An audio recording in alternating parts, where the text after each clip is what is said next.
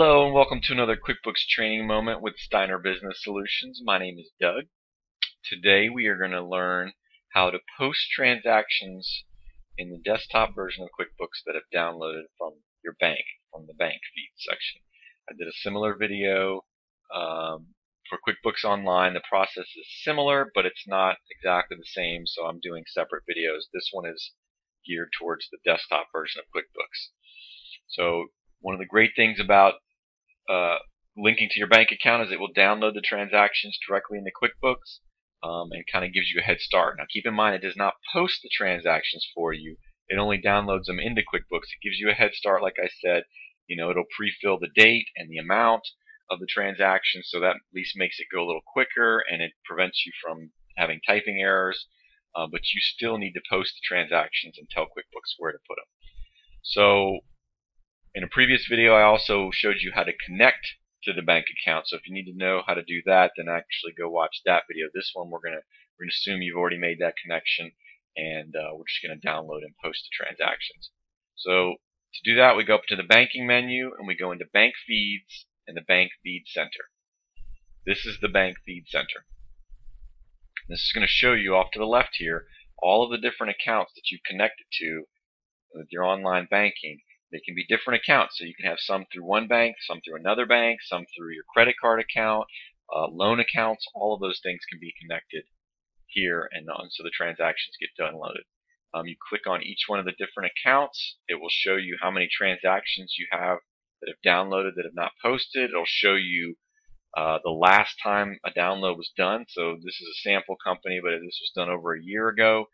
Um, in the desktop version, it doesn't automatically update itself. In the online version, it does. It will automatically every day download the most recent transactions. In the desktop version, you have to update it. To do that, you go up here and click this refresh button, and it will update your accounts and download the most recent transactions. It knows the last time it did a download, so it knows to start from that point and download things uh, more recent than that.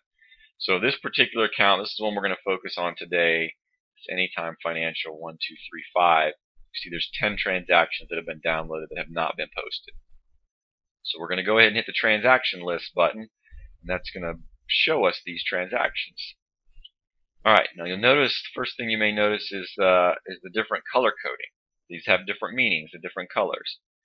The blue ones mean that QuickBooks has already found transactions that are already posted in QuickBooks that it looks like might be matches to these transactions that were downloaded from the bank. And keep in mind, again, this screen, everything you see on the screen, or I should say nothing that you see on the screen, has actually been posted in QuickBooks yet. It is downloaded from the bank and it's waiting for you to tell it what to do. Now again, so then the blue transactions, it's saying, hey, we found something very similar to this transaction that's already posted in QuickBooks. Is it the same thing? Because if it is, we don't want to post it again. We want to go ahead and match it. So for example, um, this funds transfer on November 5th for $5,000. QuickBooks is saying it's already found a transaction that looks like that. Uh, do you want to match it? So we can look at the details to find out a little bit more if we want. Hit the view details. This is what uh, the bank is showing. You know, transfer on 11.5, $5,000. This is what's in QuickBooks. On 11.25, 2019, there's a transaction for $5,000. So just by the date alone, we can see this is not right. This is a sample company, so maybe acting a little quirky, but this is a good example actually of, of it trying to match to something that is not a match. This is 11-5-2003, and the transaction in QuickBooks is 11-5-2019. This is unusual, actually. I think this must be a sample company issue because typically it would not try to match something with dates that far apart. First of all, the, the amount has to be exact, so that is the case here. Uh, but typically it won't it won't try to match things that are more than a month or two apart in date between the, the bank date and the QuickBooks date.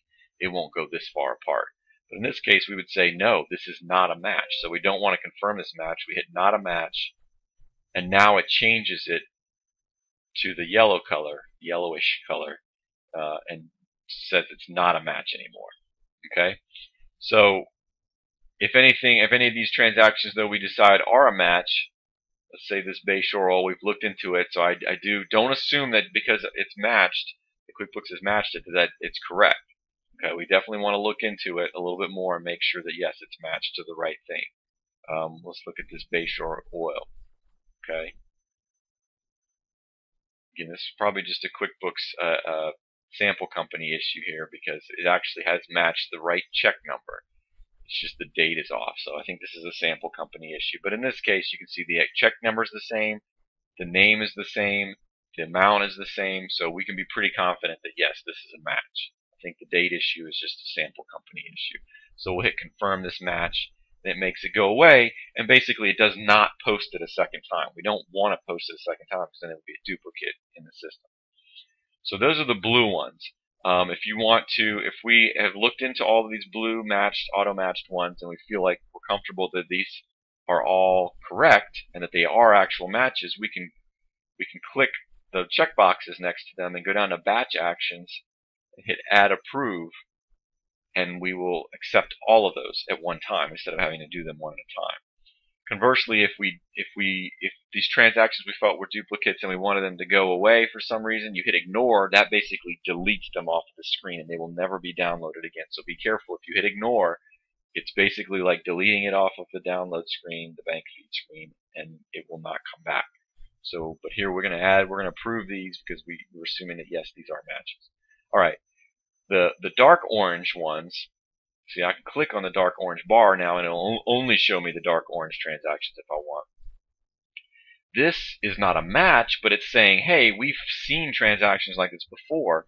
The last time you downloaded something that's, that the bank memo said ATM withdrawal, you ended up posting it to the vendor. In this case, the vendor was it's called ATM withdrawal, and you posted it to this particular expense account.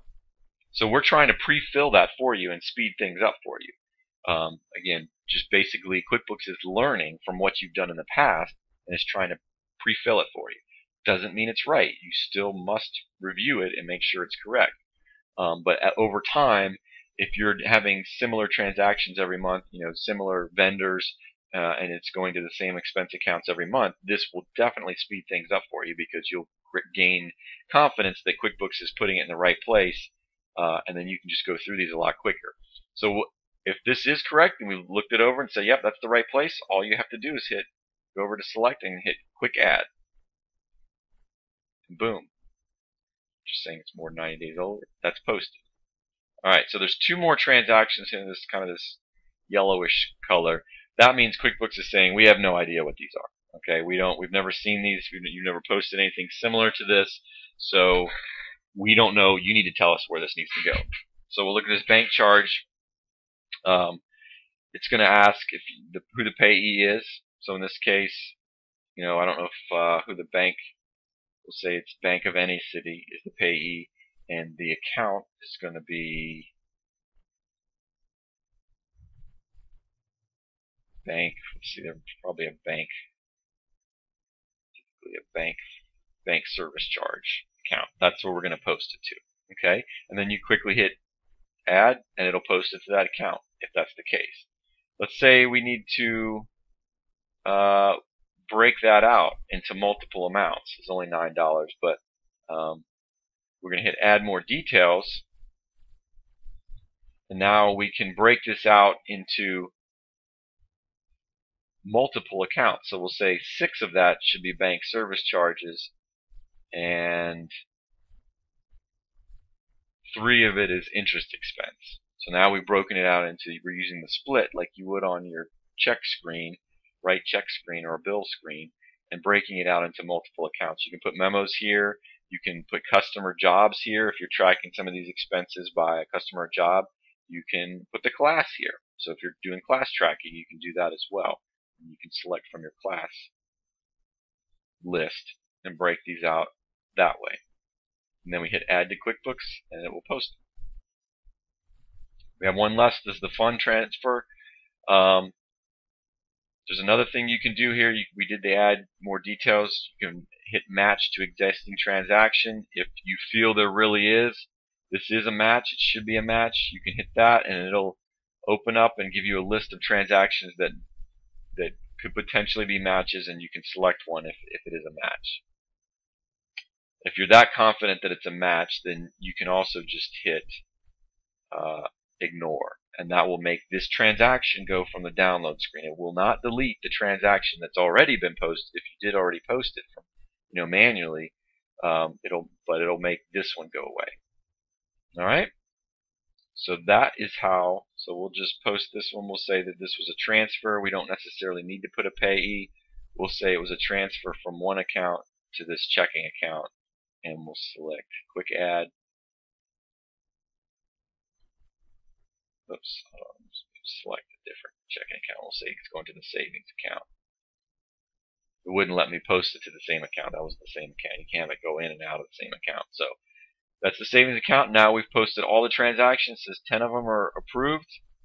If we click on the, the, the green bar that showed what was approved, it takes us right into the, the ledger. Now we can look at the transactions that are posted in the ledger. We go back to the bank feed screen. You'll see for this account there are no more transactions out there. We can always hit renew every time we want to, to go do this. Um, this is a great way to keep up with your bank transactions. Like I said, it avoids uh, it helps you save some time. It helps avoid some uh, typing errors, clerical errors.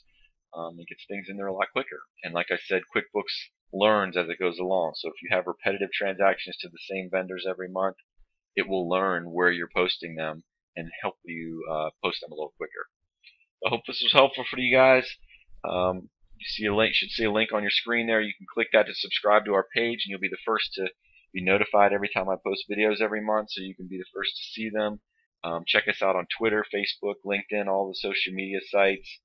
Um, we're always trying to put good content and educational stuff out there for you. Check out our website, steinerbusinesssolutions.com, um, to see all the services we offer, including more in-depth QuickBooks training. We do one-on-one training. Uh, if you're nearby, we can come to you and actually do one-on-one training there. We can also do it remotely if need be. So um, appreciate your time. Hope this was helpful. Have a great day.